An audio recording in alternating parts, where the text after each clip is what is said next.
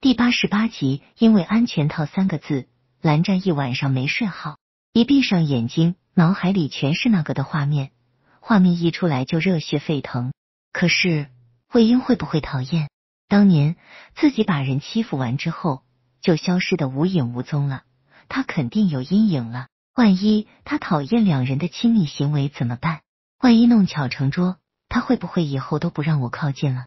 蓝湛心里忐忑不安。也不知道自己是什么时候睡着的，醒来的时候，窗外虽然算不上阳光灿烂，但也一点不像有台风的样子。蓝湛怔了一下，拿过手机就查天气预报，原来台风是晚上才吹到。可是晚上自己找什么理由留在魏婴家呢？蓝湛又没有头绪了。正在纠结之时，手机响起了短信提示音，是魏婴发来的微信，大致的意思是晚上有台风。医院要多留几个人值班，防止突发情况。他预计要忙到凌晨一两点才能回家，让他看好朵朵，晚上不用去他那做饭了，他在医院吃就行。顿时，蓝忘机就泄了一口气。昨晚辗转反侧睡不着，纠结了一晚上的事情，让一条短信给终结了。蓝湛看着短信，久久没有回复，最后干脆放下手机，进去洗漱。完了之后下楼就听到。吵吵嚷嚷的声音，你这个老巫婆，干了这么多伤天害理的事情，我要代表正义来惩罚你。蓝湛轻皱了一下眉头，看着他家女儿穿着不知从哪里逃出来的乱七八糟的衣服，还有披风，还戴着个皇冠，手上还拿着根棒子，正疾言厉色指着那个他口中的老巫婆，穿着破破烂烂的衣服，还打着背钉，头上包着个蒙古包，脸上的皱纹横七竖八。蓝湛捏了捏太阳穴，脑袋抽抽的痛着。放了几天假，他那个曾经还算得上乖巧淑女的女儿，怎么就变成这般了？看来是时候让朱莉出国回家去了。蓝湛感觉朵朵在他手上，智商都拉低了不少。朵朵，蓝湛无奈喊了一声“爸爸”，小家伙扔下他的魔法棒，扑向蓝忘机，用他那张涂满口红的小嘴，在爸爸脸上左一下。又一下亲了两大口，朱莉看着表哥那滑稽，笑得跪倒在地上。蓝湛瞪了他一眼，以后不许给宝宝用这些乱七八糟的东西。蓝湛指的当然是口红。朱莉笑得说不出话来，只能摆手。朵朵很仗义，替姑姑身边。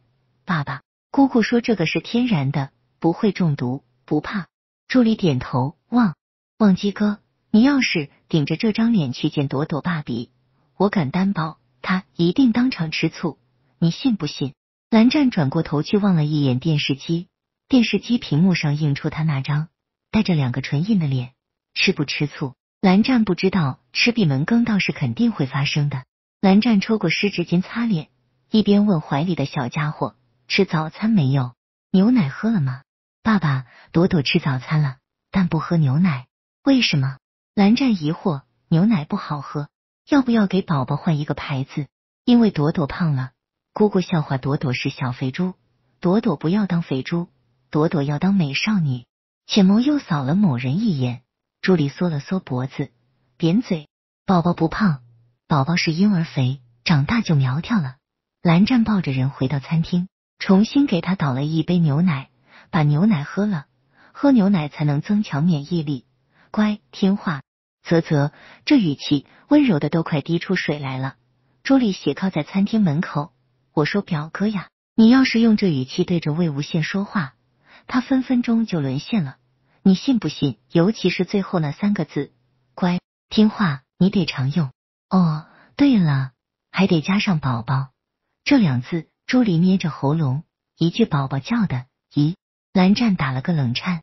爸爸，朵朵想去找爸比。朵朵好久好久没见爸比了，朵朵想爸比了。听到魏无羡这三字，勾起了某朵对爸比的思念。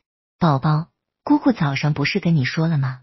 今天晚上爸爸和爸比要生弟弟，朵朵不能去打扰他们。朱莉，蓝湛扶额，这人真是越来越不分场合了。爸爸爸比生弟弟，朵朵不能看吗？某朵眨着他那双疑惑的大眼睛看着姑姑，那是秘密，不能看，一看就生不出来了。朱莉，蓝湛几乎都咆哮着吼出来，一手还捂了下胸口。朱莉大惊：“忘机哥，你别激动，我不说了，什么都不说。爸爸，你怎么了？你难受吗？看到蓝忘机皱了脸，朵朵也担心了。没事，没事，别怕，宝宝。蓝湛揉了一下他的小手，舒展开了眉心。宝宝，今天有台风，爸比发信息来了，让宝宝乖乖在家。爸比今晚要值夜班，要很晚很晚才下班，照顾不了朵朵呀。值夜班呀，那岂不是？朱莉拍了一把大腿，这么好的机会又错失了。爸比那么瘦，要是给风吹走了怎么办？爸爸，你要去拉住爸比，别让他被风吹走了。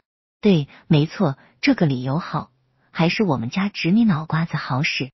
朱莉大为赞赏。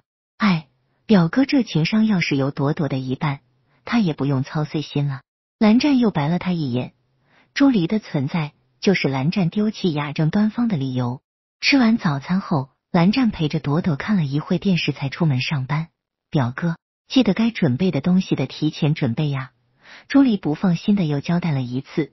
蓝湛尴尬不已，朵朵笑眯眯的，不懂姑姑和爸爸到底在说些什么东西。反正有弟弟，他就开心。如果他知道爸爸要准备的东西是让他没有弟弟，不知有多伤心呢。蓝湛先回公司，把手头紧急的事情先处理完。这一忙活就到了下午，直到拿起手机时，才想起早上魏英发的信息忘记回复了，赶紧给人回信息：“你值班到几点？我去接你。”想了想，删除。朵朵说担心你，让我晚上陪你也不对，删。你怕不怕？要不我陪你。删删减减，如此反复后，最后只回了一个字：好。哎，蓝忘机，你什么时候胆子这么小了？蓝湛在心里唾弃了自己一番，见机行事吧，到时就说自己还是不放心，所以去接他了。窗外天色已经有些阴沉了。蓝湛在公司群里发了条公告，让员工关好门窗，提早下班，路上小心。如果风太大，明天就在家里办公。群里一片欢呼，都说老板体恤员工，是个好老板。蓝湛摇头，如果他记得没错的话，前几天才有人在背后说他冷得像块冰坨。行吧，这两者也不冲突。蓝湛合上电脑，起身关了窗户，他打算先回家里看看。不知魏婴早上出门有没有关窗户？